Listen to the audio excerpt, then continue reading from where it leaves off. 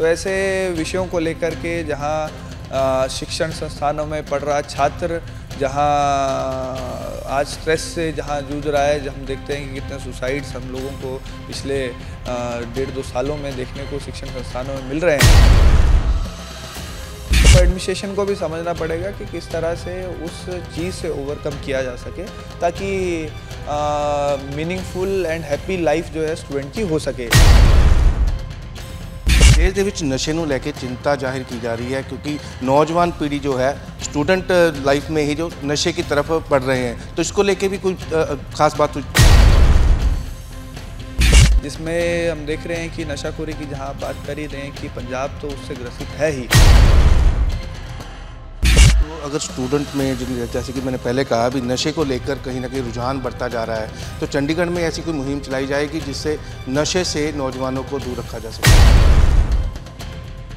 और पंजाब यूनिवर्सिटी या चंडीगढ़ के अंदर और कोई भी कॉलेज का कैंपस इससे अछूता नहीं रहेगा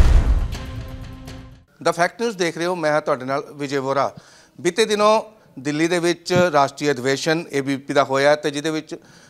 ਗ੍ਰਹਿ ਮੰਤਰੀ ਦੇਸ਼ ਦੇ ਅਮਿਤ ਸ਼ਾਹ ਪਹੁੰਚੇ ਸਨ ਤੇ ਕਈ ਪ੍ਰਸਤਾਵ ਪਾਰਿਤ ਜਿਹੜੇ ਹੈ ਏਬੀਪੀ ਦੇ ਅਧਿਵੇਸ਼ਨ ਦੇ ਵਿੱਚ ਕੀਤੇ ਗਏ ਤੇ ਅੱਜ ਸਾਡੇ ਨਾਲ ਰਾਹੁਲ ਰਾਣਾ ਜਿਹੜੇ ਨੈਸ਼ਨਲ ਸੈਕਟਰੀ ਨੇ ਏਬੀਪੀ ਦੇ ਤੇ ਨਾਲ ਹੀ ਪੰਜਾਬ ਚੰਡੀਗੜ੍ਹ ਕੈਂਪਸ ਦੇ ਪ੍ਰੈਜ਼ੀਡੈਂਟ ਰਜਤ ਜੀ ਮੌਜੂਦ ਨੇ। ਤਾਂ ਰਾਹੁਲ ਜੀ, ਕੀ ਕਹਿਣਾ ਚਾਹੋਗੇ ਜਿਹੜੀ ਇੱਕ ਅਧਿਵੇਸ਼ਨ ਹੋਇਆ ਦਿੱਲੀ ਦੇ ਵਿੱਚ ਤੇ ਅੱਜ ਚੰਡੀਗੜ੍ਹ ਪਹੁੰਚੇ ਹੋ, ਕੀ ਖਾਸ ਗੱਲਾਂ ਰੱਖ ਕੇ जी, ऐसे प्रेस वार्ता का मुख्य उद्देश्य यही था कि जो अधिवेशन में हमारा जो चार दिन, सात दिसंबर से दस दिसंबर तक अधिवेशन चला, उस अधिवेशन में क्या क्या बातें हुई और नई कार्यकारिणी की घोषणा हुई, जहाँ अलग अलग पर्सनैलिटीज इस अधिवेशन में आई थी, जिन्होंने समाज के लिए, देश के लिए, शिक्षण संस्थानों में एवीपी काम कर रही है, वो कितनी महत्वपूर्ण है, उस बारे में उन्होंने बताया और देश, समाज के लिए एवीपी की आवश्यकता क्यों है और ए का शिक्षण संस्थानों में काम करना क्यों आवश्यक है, वो भी उस अधिवेशन में ऐसी अलग अलग बातें हुई, जिसमें अलग अलग प्रस्ताव ऐसे कुल मिलाकर के छः प्रस्ताव भी जहाँ पारित हुए। तो ऐसे विषयों को लेकर के जहाँ शिक्षण संस्थानों में पढ़ रहा छात्र जहाँ आज स्ट्रेस से जहाँ जूझ रहा है, हम देखते हैं कि कितने सुसाइड्स हम लोगों को पिछले डेढ़ दो सालों में देखने को शिक्षण संस्थानों में मिल रहे हैं। तो उसके पीछे का कारण क्या है कि हम लोगों को समझना पड़ेगा और उसके लिए हम लोगों को शिक्षण संस्थानों में वो चाहे ऑर्गेनाइजेशन ही ना हो स्टूडेंट ऑर्गेनाइजेशन ना हो, वो एडमिनिस्ट्रेशन को भी समझना पड़ेगा कि किस तरह से उस चीज़ से ओवरकम किया जा सके ताकि मीनिंगफुल एंड हैप्पी लाइफ जो है स्टूडेंट की हो सके। इसको लेकर के जो है उस अधिवेशन इस अधिवेशन में बात की गई तो इस तरह से जो है इस अधिवेशन में रहा। तो राहुल जी बात करें तो कौन कौन से प्रस्ताव जो है वहाँ पारित किए गए जो एबीपी अपने आगे के प्रोग्राम में लेके आएगी? जी ऐसे कुल मिलाकर के छः प्रस्तावों की जिनकी मैं बात कर रहा हूँ ऐसे एक प्रस्ताव जहाँ गुणवत्तापूर्वक शिक्षा परिसर में होनी चाहिए, लेकिन साथ में उस शिक्षा परिसर को को जीवंत भी रहना चाहिए, इसको लेकर के भी वहाँ बातचीत की। यानी कि जीवंत कहने का अर्थ ये है कि हम लोग सिर्फ़ पढ़ाई पढ़ाई के लिए नहीं, पढ़ाई समाज के लिए भी आवश्यक है। और पढ़ाई से अपनी पढ़ाई के साथ साथ समाज के लिए क्या उत्तरदायित्व है? हमारी समाज के प्रति क्या संवेदना है? उस चीज़ को भी उस प्रस्ताव में जहाँ बात की गई और आखिर में वो पारित भी हुआ, दूसरा दूसरा प्रस्ताव जिस तरह से कि पर्यावरण को लेकर के प्रस्ताव पारित हुआ कि पर्यावरण को लेकर के एक छात्र होने के नाते छात्रों की ज़िम्मेदारी इस पर्यावरण को लेकर के है। वो सिर्फ़ छात्रों तक सीमित ना रहे, वो आम जनता में भी संवेदनाएँ पर्यावरण को लेकर के आए। हम देख ही रहे हैं किस तरह से हाल फ़िलहाल में एनवायरनमेंट चेंज किस तरह से क्लाइमेटिक चेंज देश भर में देखने को मिल रहा है। तो उस चीज़ से ओवरकम करने के लिए हम लोगों की अवेयरनेस पर्यावरण के प्रति होना आवश्यक है। छात्र छात्रों की तो आवश्यक है ही, समाज की आवश्यक है। इसको लेकर भी उस प्रस्ताव में बातचीत की गई और इस तरह से जो है वो भारतीय, भारत में अभी तैतीस परसेंट को लेकर के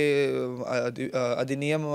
पास किया गया। पार्लियामेंट में। तो वो पार्लियामेंट में जो पास अधिनियम हुआ, वो हम देखते हैं कि वो स्टेट में भी जल्द से जल्द पास हो, ऐसा आशा जो है विद्यार्थी परिषद करती है। और आने वाले समय में महिला सिर्फ़ कार्यकर्ता के तौर पर ही नहीं, महिला नेतृत्वकर्ता के तौर पर भी आगे बढ़ेगी, ऐसा आने वाले समय में इस प्रस्ताव इस अधिनियम से आने वाले समय में देखने को मिलेगा कि महिला जो है वो नेतृत्व के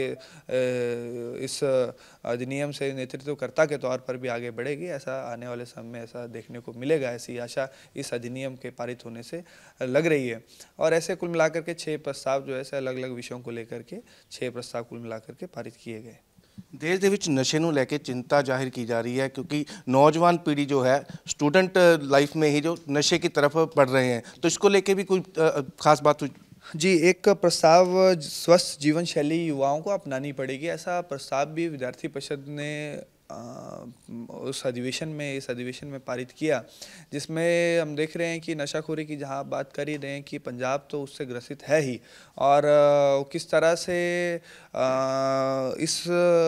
ग्रसित होने के कारण समाज के लिए कितना बड़ा नुकसान है, ये हमें देखने को मिल ही रहा है। इसलिए उस अधिवेशन में हमने ये भी चर्चा की कि उन छात्र छात्राओं का, युवाओं को कैसे वहाँ से निकाला जाए, और उनके जीवन में योग की महत्वता क्या है, खेल की महत्व महत्वता क्या है और इस माध्यम से हम लोग कहीं ना कहीं वहाँ से उस छात्र छात्राओं को शिफ्ट करने का प्रयास आने वाले समय में शिक्षण संस्थानों में करने का प्रयास भी करेंगे ਰਜਤ ਜੀ ਤੁਸੀਂ ਚੰਡੀਗੜ੍ਹ ਦੀ ਕਮਾਨ ਸਾਂਭ ਰਹੇ ਹੋ ਬੀਤੇ ਦਿਨੋਂ ਇਲੈਕਸ਼ਨ ਹੋਏ ਇਲੈਕਸ਼ਨ ਦੇ ਵਿੱਚ ਏਬੀਪੀ ਦੀ ਹਾਰ ਦਾ ਕਾਰਨ ਕੀ ਮੰਨਦੇ ਹੋ देखिए एबीवीपी की हार का कारण मैं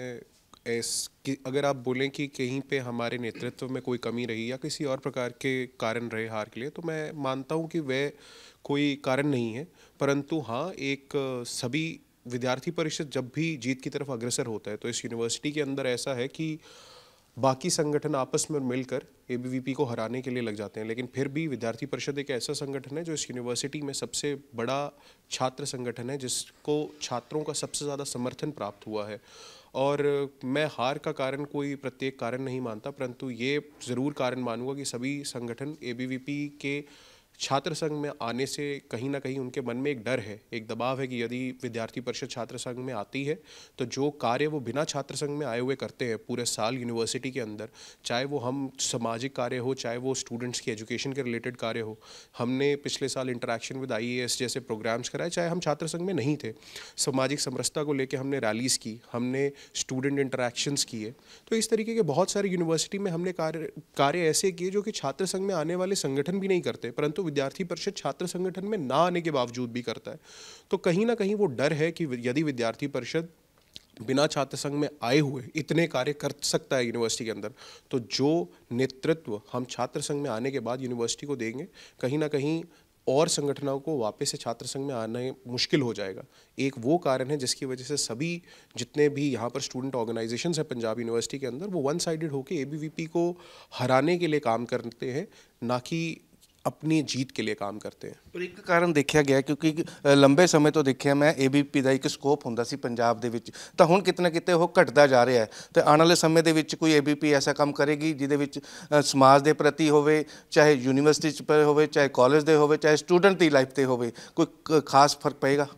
देखिए, अगर आप कह रहे हैं कि एबीवीपी का स्कोप घट रहा है तो मैं इसके साथ कम्प्लीटली एग्री करूँगा ही नहीं। क्योंकि अगर स्कोप घट रहा होता तो चंडीगढ़ के अंदर ही अगर मैं आपको एग्ज़ाम्पल दे दूँ डी कॉलेज के अंदर विद्यार्थी परिषद, छात्र संघ के अंदर विद्यार्थी परिषद के कैंडिडेट आए हैं एसडी कॉलेज के अंदर छात्र संघ के अंदर विद्यार्थी परिषद के कैंडिडेट आए हैं, उसी के साथ साथ खालसा कॉलेज के अंदर ए बी के कैंडिडेट जीत कर आए हैं। तो स्कोप हमारा आज भी वाइडर है चाहे वो आप पंजाब के कंपैरिजन में देखें चाहे वो आप चंडीगढ़ के कंपैरिजन में देखें। इवन पंजाब यूनिवर्सिटी के अंदर भी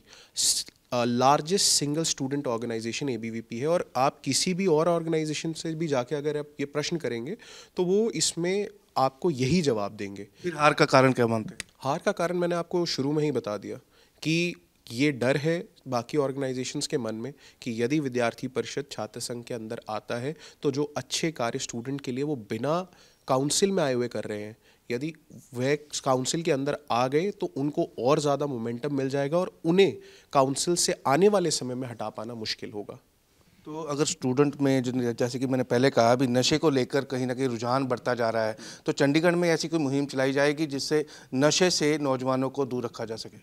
बिल्कुल। जो आपने अभी जैसे आपको बताया गया कि विद्यार्थी परिषद के अधिवेशन में ही बहुत सारे इस तरीके के प्रस्ताव जो हैं पारित किए गए हैं। तो ये प्रस्ताव ना केवल ही पंजाब यूनिवर्सिटी परंतु पूरे भारत के प्रत्येक कैंपस के अंदर, जहाँ पर विद्यार्थी परिषद काम करती है, उस प्रत्येक कैंपस के अंदर इन मुहिमों को चलाया जाएगा और पंजाब यूनिवर्सिटी या चंडीगढ़ के अंदर और कोई भी कॉलेज का कैंपस इससे अछूता नहीं रहेगा। हमारे सभी कैंपसेस के अंदर इस मुहिम को लेकर काम किया जाएगा और पूर्व में भी विद्यार्थी परिषद ने ऐसे बहुत सारे छोटे छोटे कार्यक्रम करवाए हैं, जिनका उद्देश्य यही रहा गया है कि आप यूथ को, यूथ की जो एनर्जी है उसको एक राइट डायरेक्शन में चैनलाइज करिए। चाहे वो कॉम्पिटिटिव एग्ज़ाम्स हो, चाहे वो कोई और तरीके की स्पोर्ट्स हो। पंजाब यूनिवर्सिटी में स्पोर्ट्स का एक बहुत बड़ा एवेन्यू ओपन है स्टूडेंट्स के लिए। तो हमने हमेशा से विद्यार्थी परिषद ने स्टूडेंट्स को फेलिसिटेट किया है टॉपर्स को फेलिसिटेट किया है। और इवन के जिस टाइम पे पूर्व में जी ट्वेंटी की प्रेसिडेंसी इंडिया को मिली तो उस टाइम पे केवल विद्यार्थी परिषद एकमात्र ऐसा संगठन था पंजाब विश्वविद्यालय के अंदर जिसने उसको भी सेलिब्रेट किया। तो इस तरीके से हम कभी हमेशा हमारा एफर्ट जो है that is to channelise a youth in the right direction कि यूथ की जो एनर्जी है यूथ इज़ एक्सट्रीमली पावरफुल तो उनकी एनर्जी को रॉन्ग की जगह राइट डायरेक्शन में चैनलाइज किया जाए, और उसमें नशा मुक्ति अभियान, ये भी हमारा एक विशेष फोकस रहेगा आने वाले समय में। ਧੰਨਵਾਦ। ਤਾਂ ਨੌਜਵਾਨਾਂ ਦੇ ਪ੍ਰਤੀ ਨਸ਼ੇ ਦੇ ਵੱਧਦੇ ਰੁਝਾਨ ਨੂੰ ਦੇਖਦੇ ਹੋਏ ਏਬੀਪੀ ਵੱਲੋਂ ਇੱਕ ਜਿਹੜਾ ਪ੍ਰਸਤਾਵ ਪਾਰਿਤ ਕੀਤਾ ਗਿਆ ਤੇ ਚੰਡੀਗੜ੍ਹ ਦੇ ਵਿੱਚ ਵੀ ਹੁਣ ਏਬੀਪੀ ਵੱਲੋਂ ਬੱਚਿਆਂ ਲਈ, ਨੌਜਵਾਨਾਂ ਲਈ ਜਿਹੜਾ ਹੈ ਇੱਕ